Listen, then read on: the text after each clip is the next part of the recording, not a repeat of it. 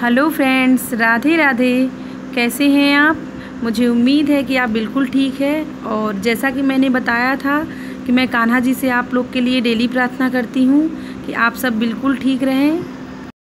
सुबह के आठ बज रहे हैं और मैंने जो डेली का रूटीन वर्क होता है हमारा, क्लीनिंग का, झाड़ू पोछा, ये सब मैंने कर लिया है। और अब मैं बच्चों के लिए कुकर वाला चोखा बनाने जा रही हूँ। उन्हें ये चोखा बहुत पसंद है। और उसके लिए मैंने ये आलू काट लिया है।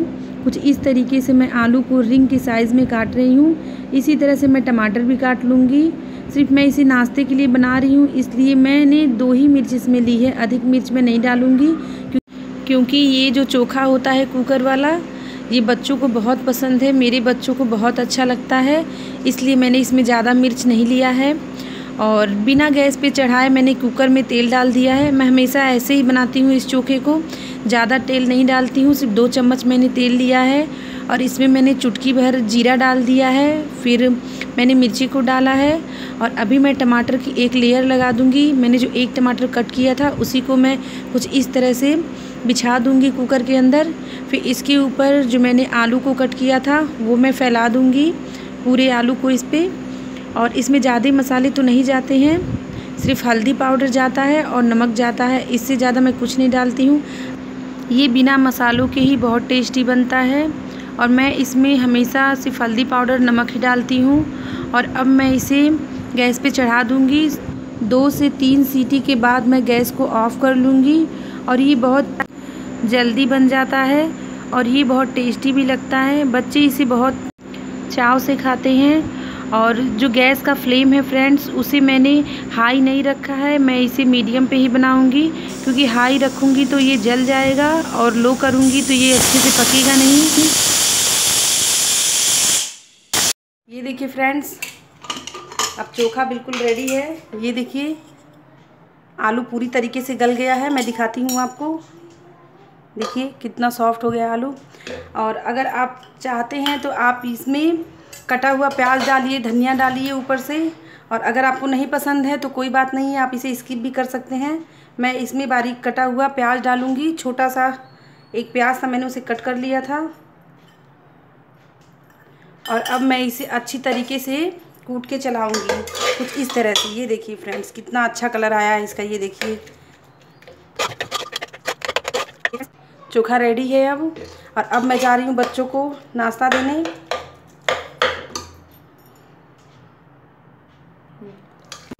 और अब मैं बच्चों को नाश्ता दे देती हूँ।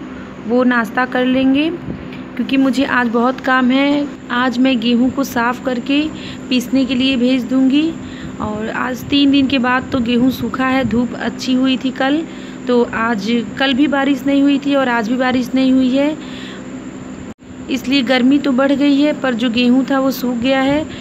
अभी मैं और मेरे हस्बैंड हम दोनों चाय पी रहे थे और बातें कर रहे थे। चाय पीने के बाद मैं गेहूँ को साफ़ कर लूँगी, क्योंकि आज उसे पीसने के लिए देना है। और छवि भी बीच बीच में आ रही थी, मैंने उसे झाड़ू मांगा था कि मुझे बड़ी वाली झाड़ू दो। मैं यहाँ का जो गेहूँ इधर उधर बिखरे हुए हैं, उन्हें मैं समेट लूँगी। तो वो मुझे छोटा झाड़ू दे के तेज़ी से चली गई और रुपेश पापा के साथ जा रहा है गेहूँ को पीसने देने के लिए।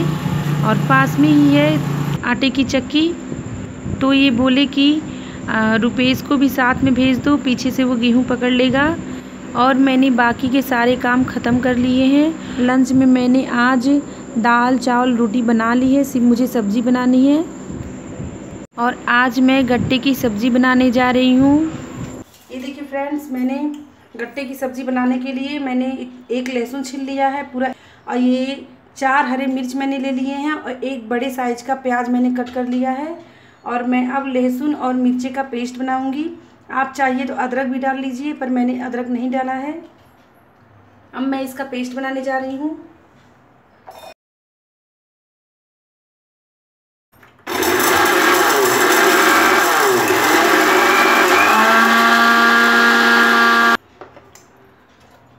ये देखिए फ्रेंड्स ये कुछ इस तरीके का पिसा हुआ है, बिल्कुल बारीक नहीं हुआ है। मैं इसमें से एक चम्मच निकाल लूँगी और बाकी मैं प्याज के साथ पीस लूँगी।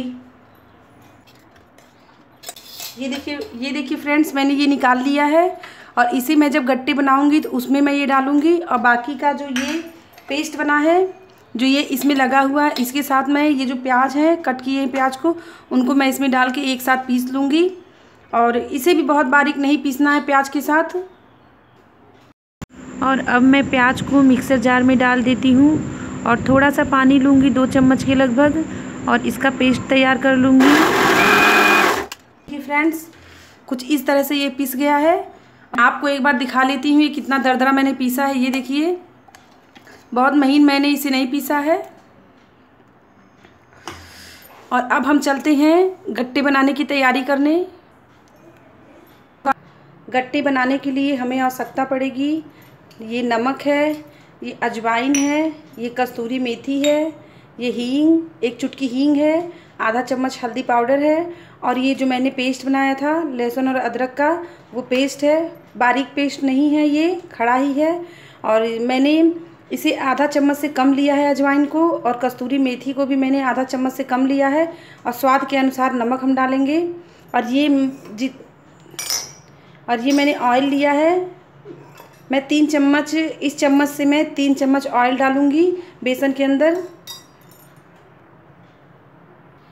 गट्टी बनाने के लिए सबसे पहले मैंने एक कप चने का बेसन लिया है और इसे मैं छान लेती हूँ। और अब मैं इसमें लहसुन और मिर्ची का पेस्ट डालूँगी। हल्दी पाउडर डालूँगी। मैं पूरा ले लूँगी।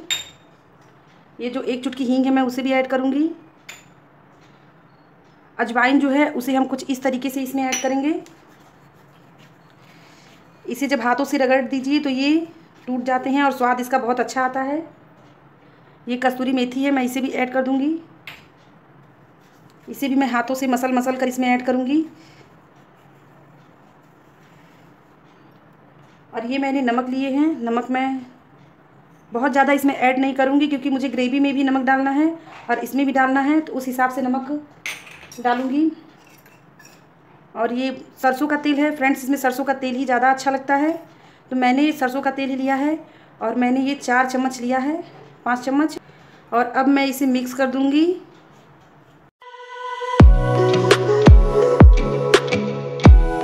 ये देखिए फ्रेंड्स बेसन मोयन हो गया है। और मुट्ठी में दबाते ही ये मुट्ठी का आकार ले ले रहा है।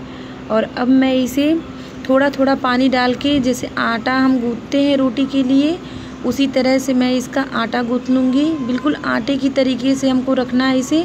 बहुत कड़ा नहीं रखना है और बहुत सॉफ्ट नहीं रखना है। एक बात का ध्यान ज़रूर रखिएगा फ्रेंड्स, आटा में मोयन बहुत अच्छी तरह से होना चाहिए। वरना गट्टे जो हैं वो सॉफ्ट नहीं बनेंगे, वो हार्ड हो जाएँगे। और अब मैं इसे ढककर रख देती हूँ दस मिनट के लिए। जब दस मिनट हो गए थे, तब मैंने कढ़ाई को गैस पे चढ़ा लिया था और इसमें मैंने दो कप के लगभग पानी डाल दिया। मैं इसी पानी में गट्टे को बॉईल करूँगी, गूथे हुए बेसन को। अब मैं एक रोल का सेप दूँगी, बहुत मोटा नहीं दूँगी, पतला ही दूँगी। और फ्रेंड्स आपको जैसा पसंद है, वो आकार दे सकते हैं। आप इसे गोल गोल भी करके रख सकते हैं, पर मैं हमेशा इसे इसी आकार का बनाती हूँ। ये देखिए, ये इतना थिक मैं रखती हूँ और ऐसे ही मैं बाकी सारे आटों का रोल बना लूँगी। और वाटर जो है, वो बॉयल हो रहा है और अब मैं इसमें बेसन का रोल डाल दूँगी और मैं इसे लो टू मीडियम फ्लेम पे रख दूँगी ढककर। पाँच से दस मिनट के लिए मैं इसे रख दूँगी। गट्टे पकने में ज़्यादा टाइम नहीं लगते हैं। पाँच से दस मिनट में ये अच्छी तरीके से अपने साइज़ के थोड़ा से फूल जाते हैं। ज़्यादा दुगने नहीं होते हैं, पर थोड़ा सा फूल जाता है। और ये देखिए फ्रेंड्स, गट्टे जो हैं वो पक गए हैं। और इसे अब मैं कढ़ाई से बाहर निकाल लूँगी। और फ्रेंड्स, जो ये पानी है, इसे मैं फेंकती नहीं हूँ। जब मैं ग्रेवी बनाती हूँ तो मैं उसमें इसी पानी को इस्तेमाल कर लेती हूँ। फ्रेंड्स, मेरा वीडियो आप सभी को कैसा लगा? अगर अच्छा लगा तो प्लीज़ मेरे वीडियो को आप सब लाइक कर दीजिएगा और मेरे चैनल को ज़रूर से सब्सक्राइब कर दीजिएगा और बेल आइकन का बटन दबाना मत भूलिएगा, जिससे कि मैं जो भी न्यू वीडियो अपलोड करूँ, उसका नोटिफिकेशन आपको मिलता रहे। और मेरी वीडियो को फुल वॉच किया करिए प्लीज़ फ्रेंड ये देखिए फ्रेंड्स मैंने गट्टे को कट कर लिया है और अब मैं गट्टे को भूनूँगी। गोल्डन ब्राउन होने तक और कढ़ाई गर्म हो गई है। इसमें मैंने चार बड़े चम्मच ऑयल डाला है। फ्रेंड्स, गट्टे की सब्ज़ी में ऑयल ज़्यादा लगता है।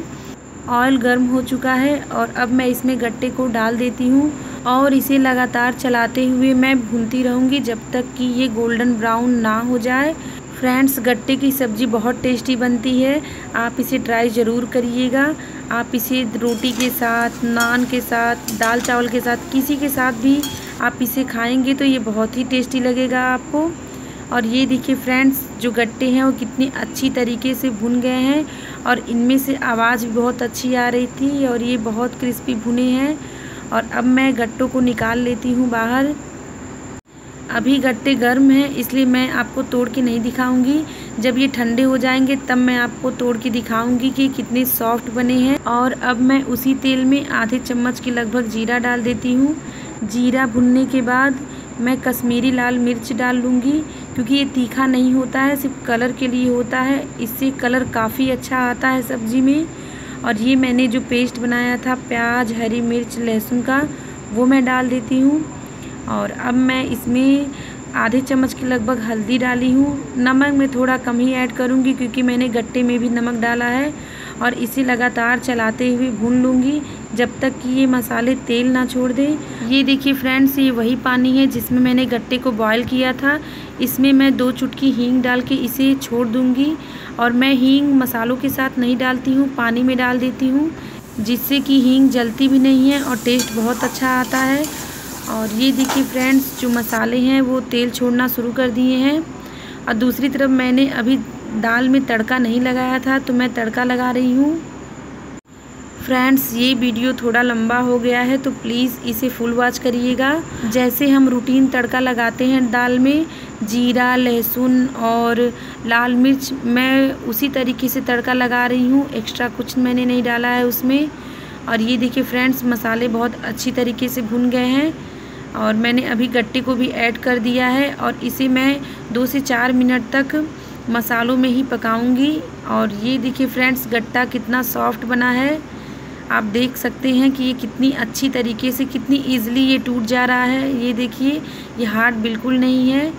और अब मैं गट्टे के ऊपर जो मसाले हैं, उन्हें कोट कर दूँगी और इन्हें मसालों के साथ दो चार मिनट और पकाऊँगी ढककर।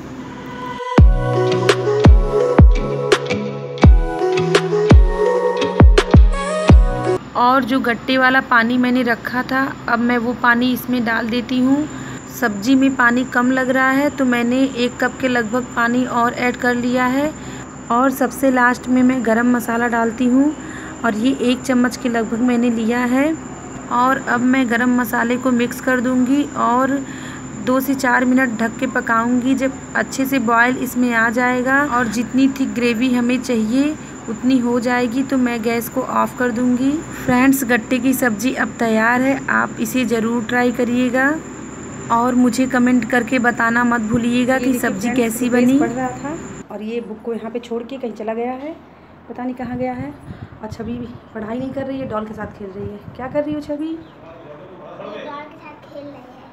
और ये खिड़की पे क्या टांगी हो? अब बैग यहाँ पे टांगी हो? और कब को? कप यहाँ टांगी हो, कप यहाँ रखा जाता है। हाँ? बोलो। तुम दिन भर डॉली खेलती रहोगी। पढ़ाई नहीं करोगी? कब करोगी पढ़ाई? अभी कब? ये देखिए, पूरे बिस्तर पर इसने पूरे खिलौने ही फैला के रखे हुए हैं। खिड़की की जो कुंडी होती है, उस सब में कप टांगा है कहीं। कहीं पर इसने ये देखिए, बास्केट टांगा है। और ये देखिए, डॉल्स के कपड़े कहाँ टांगी है, ये देखिए। और ये देखिए गैस कहाँ रखी है। और ये दिखा भी रही है कि गैस मैंने कहाँ रखा है, ये देखिए। ये देखिए सारे बर्तन जो है, वो सारे बर्तन इसने यहाँ पर लगा के रखे हुए हैं। ठीक है, खेल लो। तुम क्या कर रहे हो रुपेश? ये देखिए फ्रेंड्स, आज का लंच हमारा यही है। चावल, दाल, ये आम का अचार है, गट्टे की सब्ज़ी है, और आलू टमाटर का चोखा है। और ये सादी रोटी है और आज हमने यही लंच में बनाया है। और आ जाइए फ्रेंड्स आप लोग के लिए थाली लग गई है। मैं ब्लॉग को यहीं समाप्त करती हूँ। मिलती हूँ नेक्स्ट अच्छी सी वीडियो में। Thanks for watching